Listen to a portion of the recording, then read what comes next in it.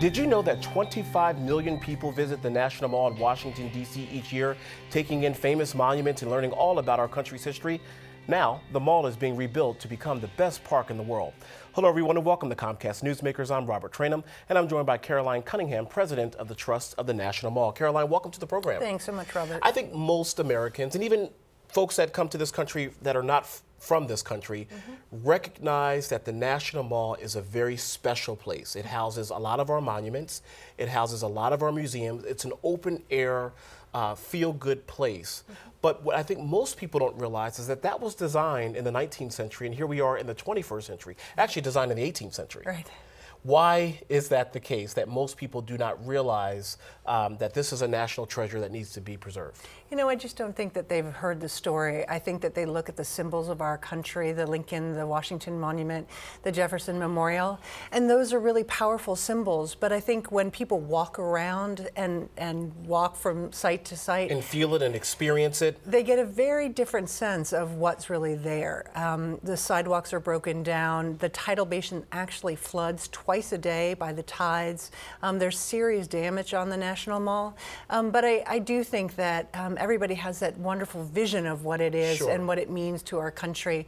Uh, but then their experience is something different when they get at the place. You mentioned some unfortunate truths. The unfortunate truths are is that, frankly, uh, our National Mall has been neglected. It is. Um, it has been neglected for various reasons, you know, whether it be political or, or whatever, whatever the case may be. So what is the solution to bring the National Mall into the 21st century with, with, with, of course, protecting its legacy and preserving it for the future? Well, the Trust for the National Mall is really an arm and a nonprofit partner of the National Park Service.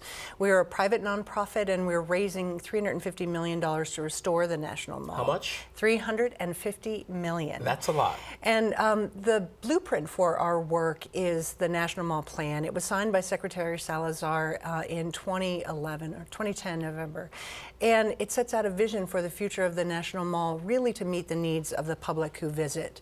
25 million, as you mentioned, the public, uh, the National Park Service estimates that there are going to be 40 million in the next six or seven years. And these are just basic needs. This is sidewalk repair, restroom facilities, uh, bathrooms. Ba yeah, absolutely. And mm -hmm. you know, I don't think most people realize, but there's there's not a, a cohesive place to to congregate and to use the facilities or to be, perhaps get something to eat. There's a lot of vendors. It's not user friendly, is what I'm trying to say. And that's what the Park Service has done through the National Mall Plan. They've really set out a smart plan, and the Trust for the National Mall is um, starting with two projects. One on the Washington Monument grounds over by the Sylvan Theater, and Constitution Gardens, which was um, built in the 1970s for the bicentennial.